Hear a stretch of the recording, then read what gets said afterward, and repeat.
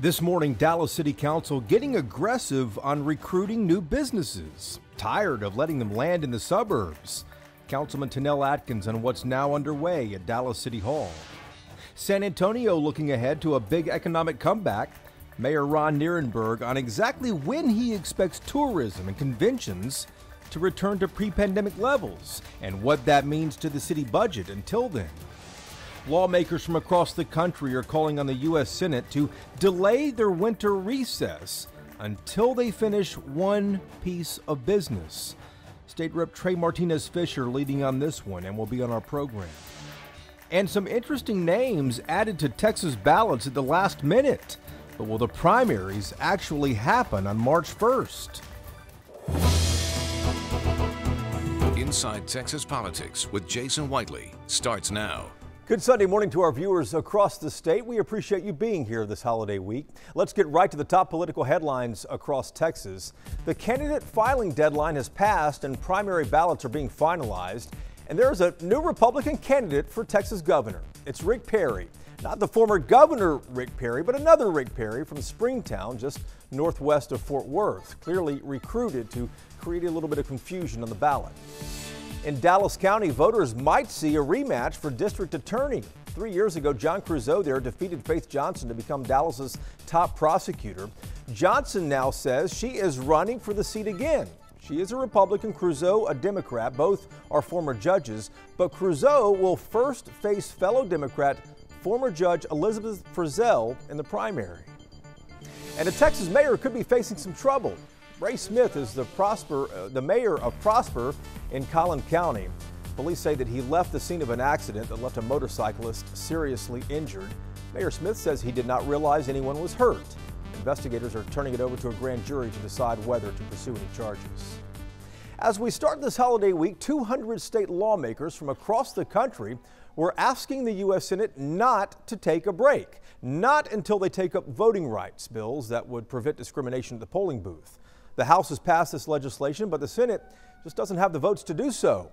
A Texas lawmaker is leading this effort, State Rep Trey Martinez Fischer, a Democrat from San Antonio. Representative, it's good to see you again. Let's talk about this this uh, effort that you've been leading. More than 200 lawmakers, Democratic lawmakers from across the country, signed on to this letter calling for a delay in winter recess for Senate Democrats so they can pass voting rights. Has anyone responded to you all yet? Texas Democrats have been very bold on this issue. Uh, we find ourselves in the center of the conversation across the country. And, and this letter, uh, led by, by myself and my office, uh, gathered 200 signatures from 41 states plus Guam, uh, telling the U.S. Senate, don't go home without giving us voting rights. Uh, yeah, uh, this is a very fluid conversation and, and very, you know, recent last couple of days. We've all realized that Build Back Better is now sort of moving to the sideline as senators uh, Senator Manchin and, and the White House negotiate the finer points, and so you now see a opportunity to maybe put voting rights back in front. You've been to D.C. before. We were with you in D.C. when the uh, House Democrats took off up there. You just got back from D.C. before this interview here. Are you just getting paid lip service, do you think, or are they actually working behind the scenes to make something happen?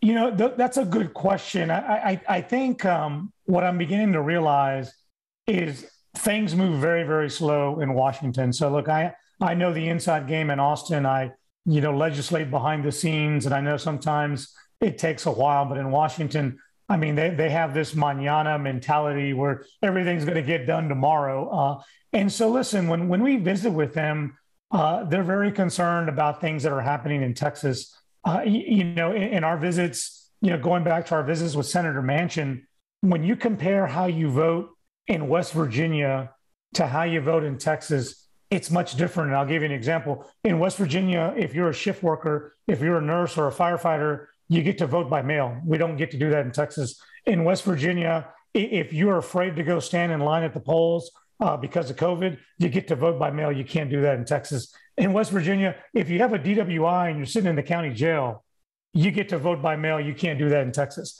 And, and so when we explain to these senators just how high the hurdles are in the state of Texas to vote, uh, you know, I, I think that, you know, they want to make a change.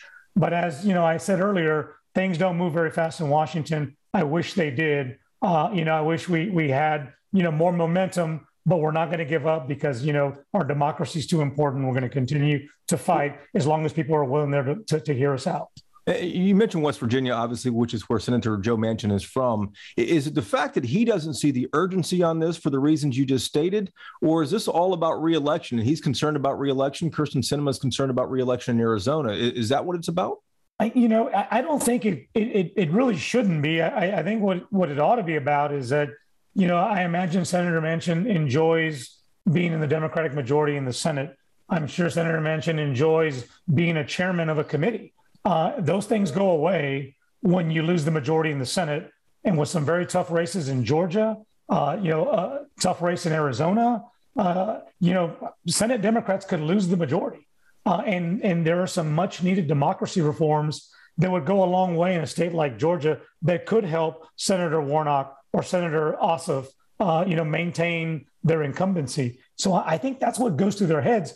What I believe they keep saying is they're they're a little, uh, you know, reluctant to to change the rules reform, and I think that there are some very serious discussions on on how you might make a rules change to take the Senate back to its traditional, uh, uh you know, history where you actually had to get on your feet and hold the floor and speak while you filibuster. These days, these folks do it with a with a text message. They just make a threat to filibuster, and everything comes to a stop. That's not the way it was, uh, you know, back in, in the old days. And I think the Senate's trying to find a way to get there. Gotcha. Representative Trey Martinez Fischer, good to see you again. We appreciate the time. Thank you for having me, man. Let's talk about next year's primary election for a moment here and pose a question everyone is asking. Will the election be delayed beyond March 1st? Democrats in the Department of Justice are suing over the newly drawn districts in Texas, saying Republicans reduce the influence of minorities. So, what will judges do? One of the people we ask questions like this to is Ross Ramsey, co founder and executive editor of the Texas Tribune. He is in Austin as always. Ross, good morning. Good morning, Jason. How are you? Uh, doing well here. You know, the, the big question going into the new year here is whether a judge might delay the March primaries while courts sort out the redistricting. How likely is that to happen? You know, it's happened before. I don't know how likely I would rate it. You know, my crystal ball was broken several years ago, but um, the candidates have all filed and the new redistricting maps are in court. And if the courts find any problem with those, they'll delay at least part of the election in some races just to redraw the maps. The question is whether the maps are legal or not, and we won't know that until the judges say so. Uh, likely next month, hopefully. Who knows, though? You know, California wants to go after assault rifles and those homemade guns called ghost guns using the same mechanism that Texas used for the abortion law, where the state doesn't enforce it, but individuals enforce it by suing over this. Just, just curious, how likely is that to survive, and what might it mean to Texas's abortion law? Well, the Supreme Court hasn't knocked this down yet. They're a little bit stumped on it, it looks like. The provision lets people, as you say, file lawsuits to enforce the law. If that works on what has been a constitutionally protected right like abortion, other states are looking at it and saying, well, maybe it could work for guns. Maybe it could work for uh, people burning coal. Maybe it could work for some of these other things that we're challenging. We'll have to see what the Supremes do. And we'll, we'll wait and see that in the new year. Ross, back to you in a moment. Thank you. Coming up, San Antonio looking for a big economic comeback. Mayor Ron Nirenberg on when he is thinking that conventions and tourism might return to pre-pandemic levels. Dallas City Hall has a new plan to land big business, trying to play catch up in a sense with other Texas cities and the suburbs. Councilman Tennell Atkins joins us in a moment. And if you're on the road for the holidays, take along our podcast. It's called Y'all-itics. New content, fresh interviews, an entire library of episodes on Texas politics is waiting for you. Plus, new ones drop every Tuesday wherever you get your podcasts.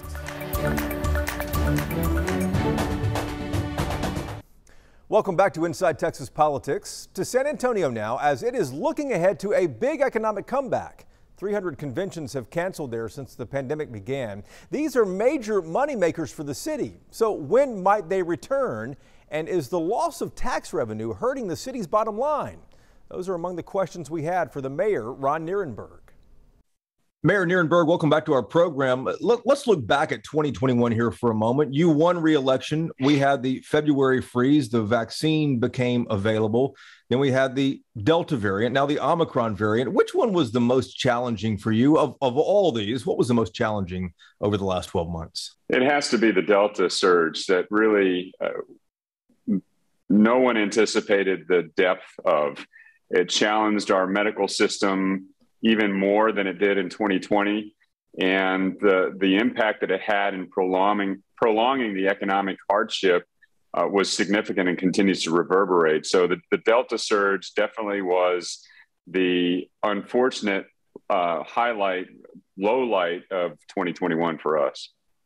Mayor, I was in San Antonio about uh, two weeks ago, and I noticed along the Riverwalk, tourists are returning, it seems like, but conventions clearly are not. I think I read that uh, San Antonio is down, with 300 conventions that have canceled since the pandemic began. Uh, the Omicron variant is, is probably going to muddy up some plans for some people, but how many years do you think it's going to take for conventions to return to your city like pre pandemic levels? To get to pre-pandemic levels, the 2019 levels, our hospitality and tourism industry and our own internal folks are projecting good case scenario two to three years. Uh, in our uh, more conservative scenarios, maybe five years to get to those 2019 levels again. Mayor, conventions likely will not pick up until air travel picks up. And we were actually right. in San Antonio talking to the CEO of Southwest Airlines, Gary Kelly, for our podcast. And he said that air travel is not going to pick up until people return to the office. Are you pushing for people to return to the office to kind of get the whole cycle going again?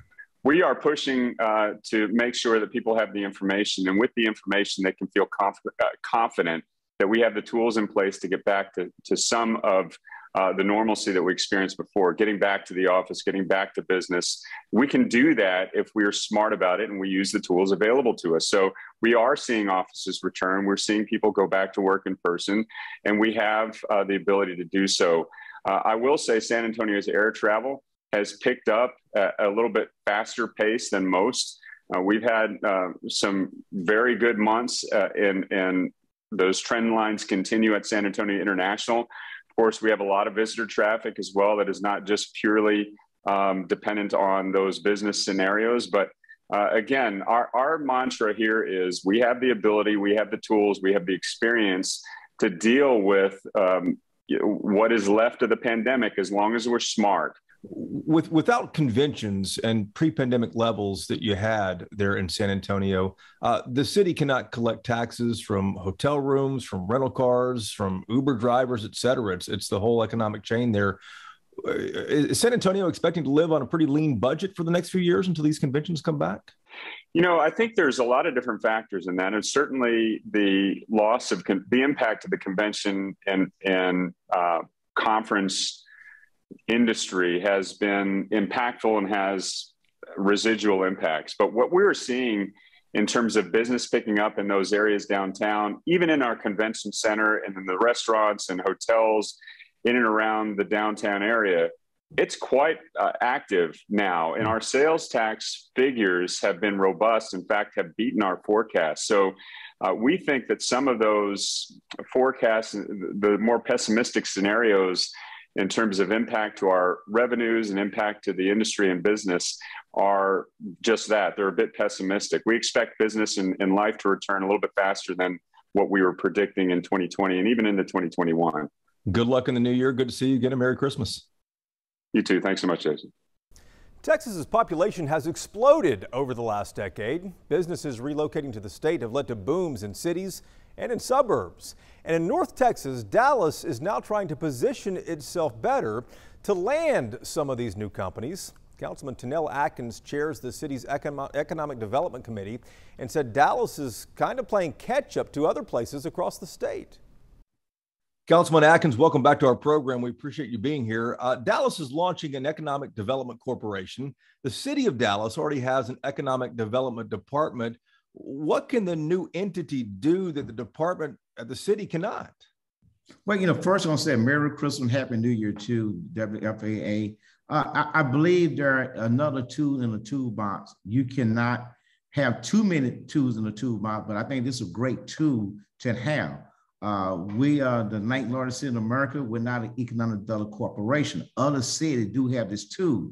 And this tool was, was, specialized to make a corporation uh, uh, pinpoint to Dallas, not the region. We got to think about Dallas one. You mentioned that other Texas cities have these and other cities across the country have these. Did Dallas see that it was missing out on something and, and needed to get this tool in the toolbox? Yes, I believe because right now, you know, we are Dallas got two um, airport DFW Love Field. We're central located, and we got more people moving from the East Coast, West Coast here to City Dallas. We need every tool that we need to put in the toolbox to make sure we're on the same level playing field throughout America. And this tool is a great tool because we would be able to buy land, hold land, to be able to deal directly to corporation faster than the city of Dallas, but it still can have an oversight by of the city council. We you mentioned that the you know kind of a Dallas first mentality because there are a lot of businesses that focus on uh, the DFW area, the Metroplex as a whole. But we have watched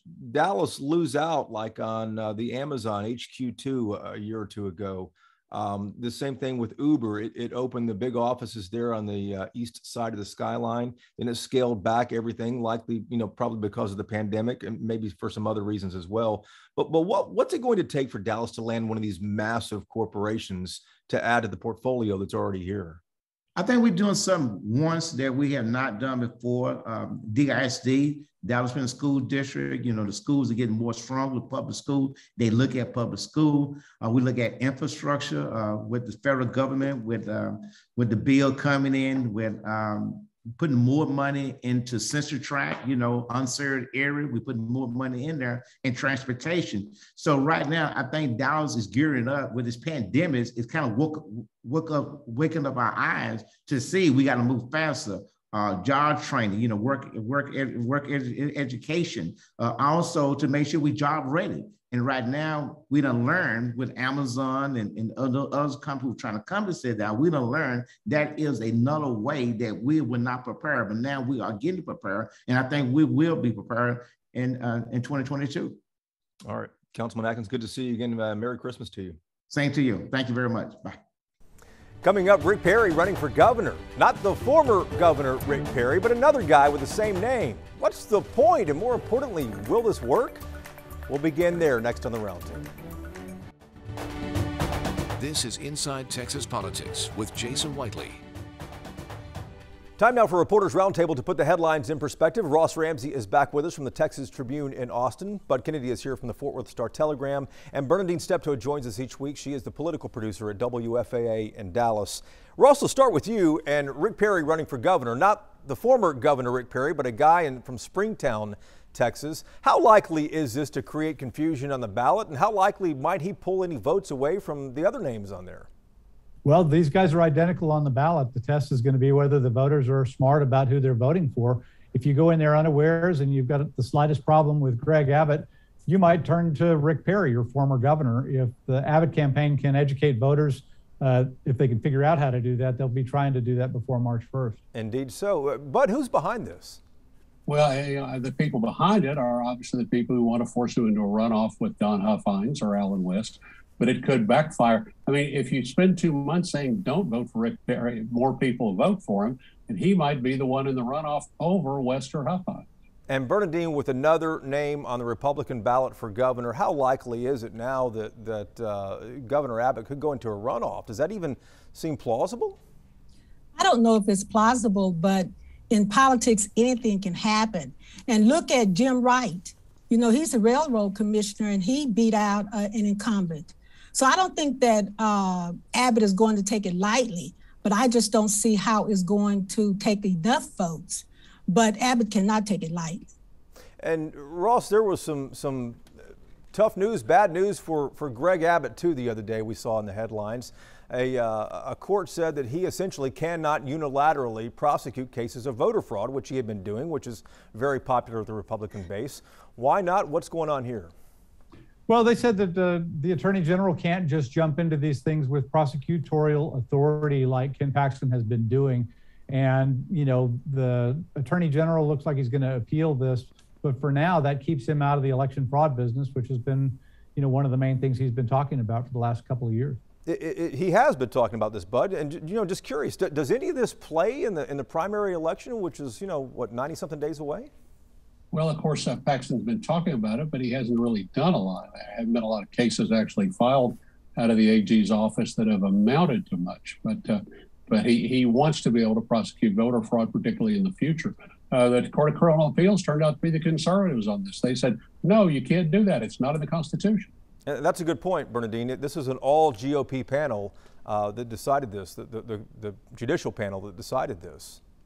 Well, and it also shows that they're going to honor the Constitution and that you just can't go make up your own laws and do what you want to do. And I think that's what they're telling Paxton. So you can't do it, so we're not going to allow you to do it. And Ross, and, uh, I'm sorry, Bernardine, go ahead. No, no, I just think that he is disappointed because you know he he finds glee in uh, prosecuting voter fraud. Yeah, the, the, the few cases there actually are that the uh, that are out there in the state. But but if he the, the, state constitution pretty clearly lays this out and it's been laid out pretty clear, Ross, since what the, the end of the Civil War, I believe. D- does he have really an appeal? Well, I, you know, not really. I mean, he can ask them for a rehearing. I think it's significant that a nine-member all-Republican court said, "Look, there's nothing for you here." Um, he's just going to have to figure another way forward. Bud, final thoughts on this? Well, he's a he's a, a civil lawyer. He's not a prosecutor. Uh, the DAs are the chief prosecutors in Texas, and the AG can't pretend to be one. Yeah, and, and that, that's the thing too, Bernardine. People may not realize some states the, the attorney general can go after crim- criminal cases, not in Texas though. Well, and also he immediately started blaming blue states, I mean blue counties saying that they're going to allow voter fraud. Yeah. Um, so that's going to be another talking point for some of the Republicans. But I think that it takes a lot out of uh, Ken Paxton. We shall see. Guys, thank you so much. We appreciate it. Thank you for joining us as well. We're back again next Sunday during the holidays here to take you inside Texas politics and hope you can join us. Until we see you then, take care.